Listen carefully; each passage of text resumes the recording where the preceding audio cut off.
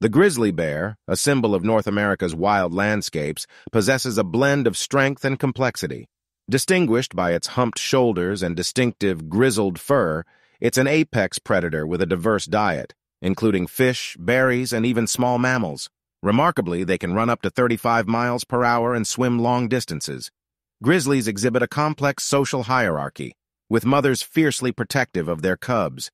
Despite their power, they play a crucial role in ecosystem balance by controlling prey populations.